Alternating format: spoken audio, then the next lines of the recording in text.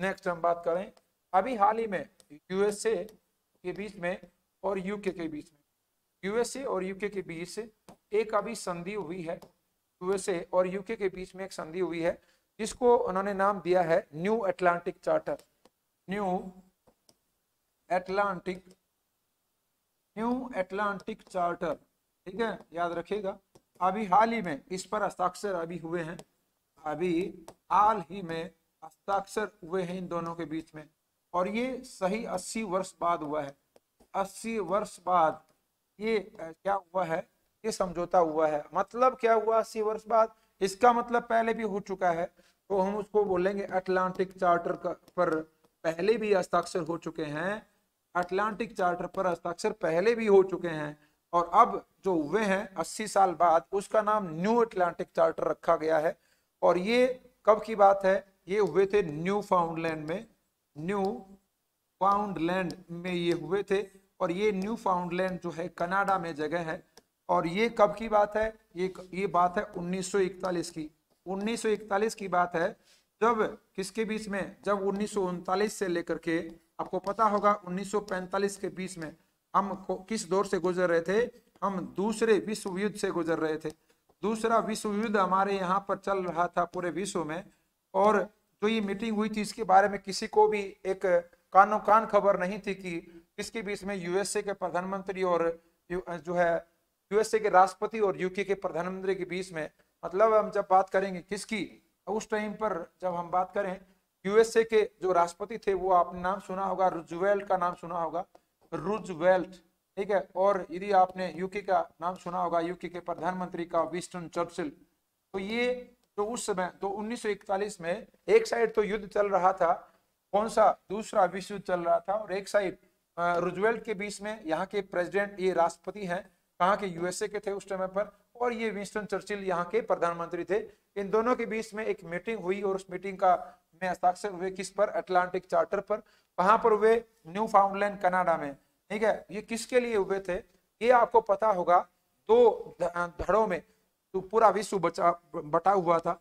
एक एक को बोलते थे हम धुरी राष्ट्र और एक को बोलते थे हम जो है मित्र राष्ट्र, ठीक है? एक को हम धुरी राष्ट्र बोलते थे और एक को आप मित्र राष्ट्र बोलते थे। और धुरी राष्ट्र जो है, वो खुद ज़्यादा ही पावरफुल रखे थे। इसमें आप जर्मनी, हिटलर की बात करते हैं या फिर जापान की बात करते हैं या फिर इटली की बात करते हैं। लेकिन जब मित्र राष्ट्रों की बात करते हैं तो जिसमें यूएसए भी है, जिसमें यूएसए है या फिर जिसमें ब्रिटेन की बात करते हैं या फिर जिसमें रशिया की बात करते हैं, ये तो इस जैसे देश जो है वो कहाँ शामिल थे?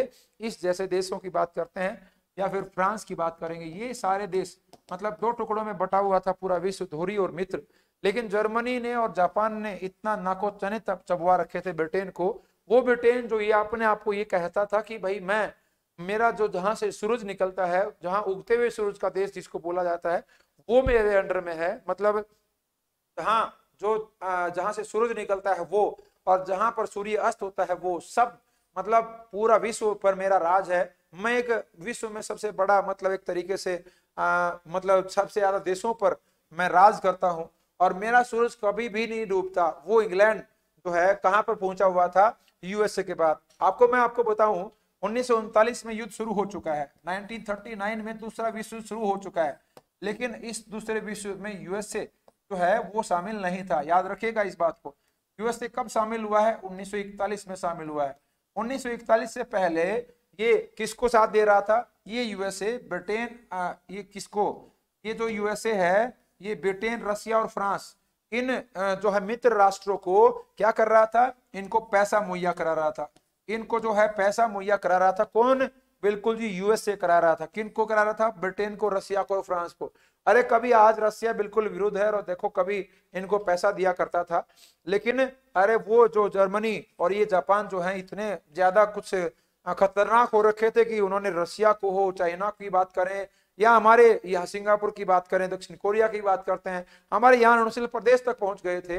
लेकिन जहाँ, जब यहाँ पहुँचे तो ब्रिटेन ने कहा कि, भाई साहब, ये सोने की चिड़िया तो हमारे से लुट जाएगी। तो इसलिए आप थोड़ा सा हमारी हेल्प कीजिएगा। तो इस हेल्प की बा, बात करते हैं तो ये यूएसए ने क्या किया? अरे बिल्कुल ऐसा नहीं माना बहुत सारी चीज़ें इसमें शामिल की गई। तो इसमें लगभग आठ बिंदुओं पर साइन हुए और उस आठ बिंदुओं में एक आधा बिंदु मैं आपको बता देता हूँ। सबसे पहले अमेरिका ने यह कहा सबसे पहले अमेरिका ने यह कहा कि यदि आप मतलब आपके अंडर में जितने भी जो भी सभी देश जो भी देश हैं सभी को आपको आज़ाद करना होगा।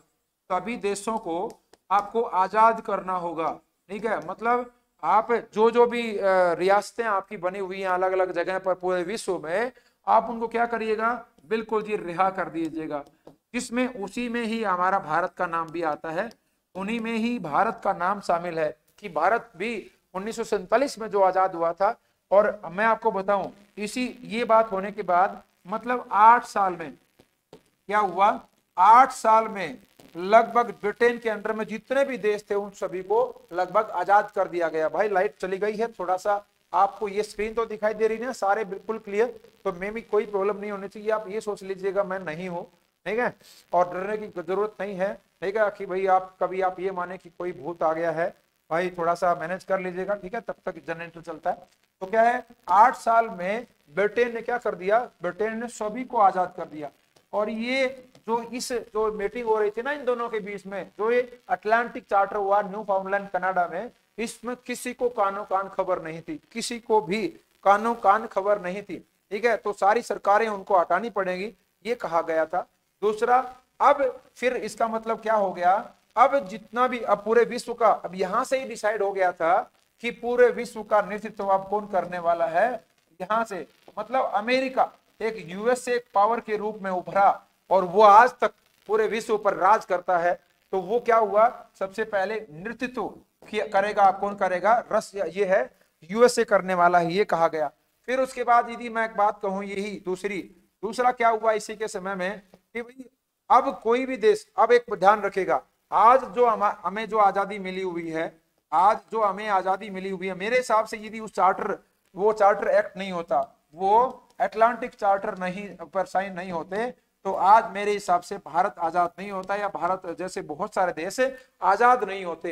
ये उस चार्टर की आप मेहरबानी समझिएगा। मतलब अमेरिका ने ये काम तो बिल्कुल अच्छा किया है। ठीक है? ये अभी क्या कहा गया? इनके द्वारा। उसी प्रकार मतलब सात से आठ वर्षों में सभी को आज़ाद कर दिया गया। ठीक है? उसके बाद इन्होंने एक और कर रखा था। किसकी बात कर रहा हूँ मैं? ब्रिटेन की।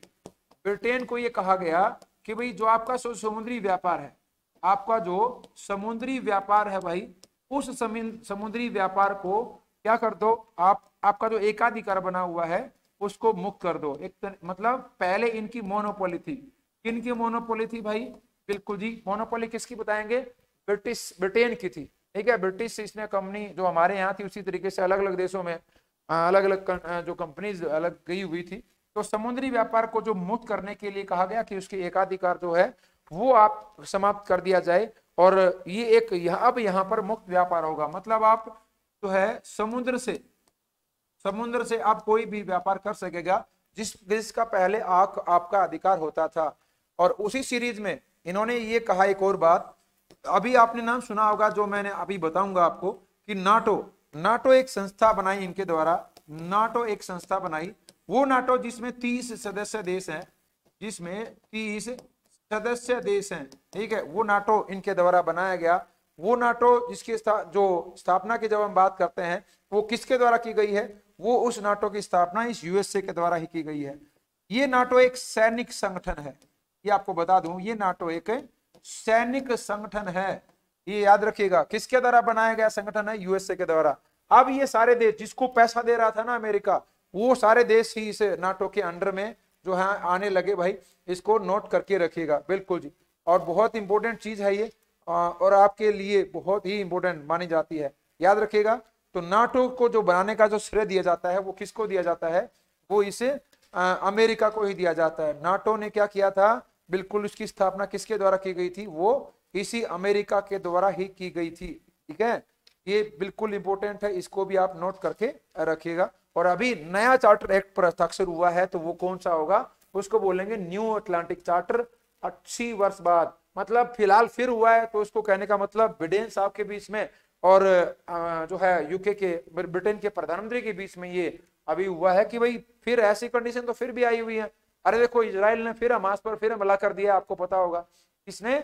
अभी हाल ही में फिर हमला कर दिया है। किसने हमला कर दिया है? यूएस से इसराइल ने किस पर हमला कर दिया? इसराइल ने अभी हाल ही में फिर हमला कर दिया है। किस पर हमला किया है भाई? हमास मतलब फिलिस्तीन पर फिर हमला कर दिया गया है। ठीक है? बिल्कुल जी, चलो।